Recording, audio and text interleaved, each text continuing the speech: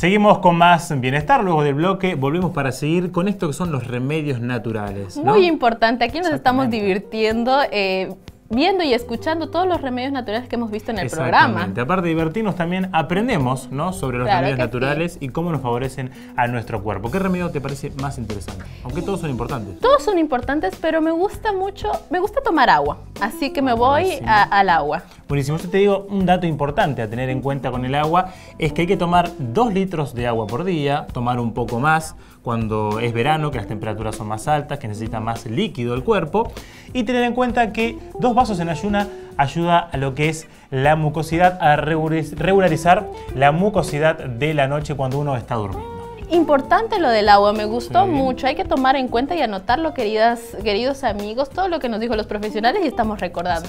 También otro importante es el sol.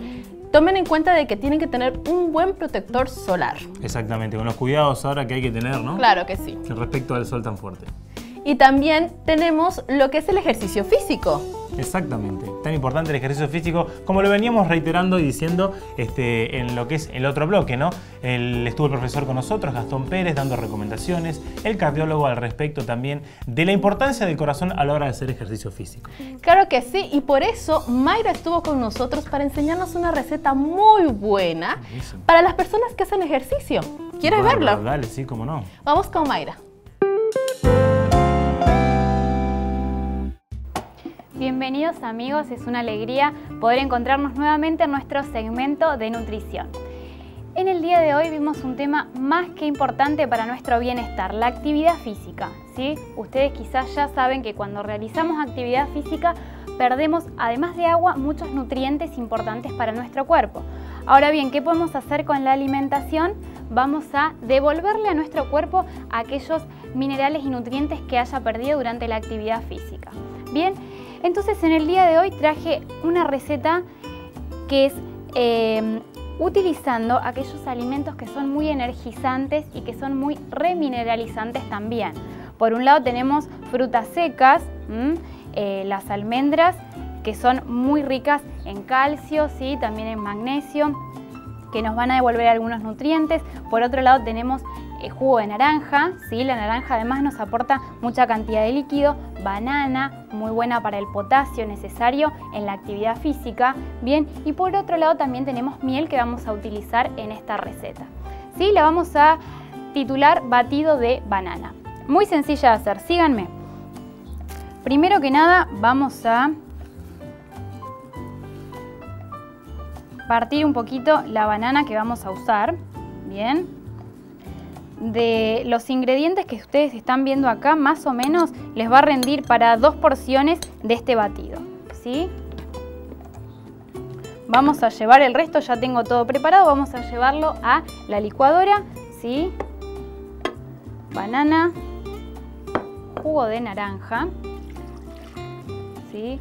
Recuerden que eh, en general todas las frutas pero especialmente los cítricos para conservar bien la vitamina C vamos a exprimirlos recién cuando vayamos a usarlos y no dejarlo mucho tiempo en contacto con el aire. Tengan en cuenta eso también. Vamos a agregarle un puñado de almendras. ¿sí? Si prefieren en vez de almendras usar nueces también puede ser. Un poquitito más. Y finalmente vamos a agregarle una cucharada de miel, ¿sí? para que quede un poquito más dulce. Y sin necesidad de usar azúcares blancas. Bien. Vamos a batir esto hasta que quede todo bien eh, mezclado, sí, y que la consistencia sea de batido más que de jugo.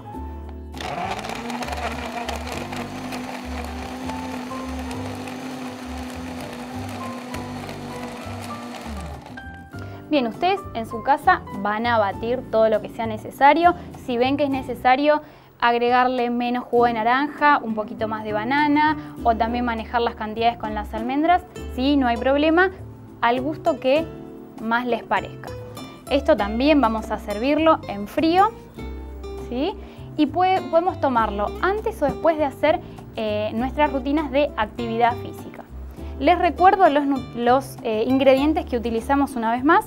Vamos para dos porciones a utilizar una banana, vamos a utilizar un puñado de almendras, un vaso o un poquito menos de jugo de naranja y una cucharada de miel. ¿Sí? Recuerden que si alguna de estas recetas no, no tuvieron tiempo a copiar o quieren recordar cómo las hacíamos, podemos encontrarlas, eh, ustedes también las pueden encontrar en nuestros sitios web y en nuestras páginas web.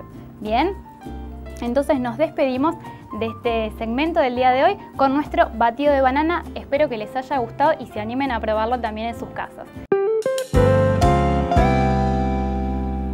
Muchísimas gracias a Mayra por este licuado tan rico, tan energético, podemos decirlo de alguna manera, que nos puede ayudar para esas personas que quieren hacer ejercicio y que a veces necesitan un empujoncito más, por decirlo así. Este licuado es ideal.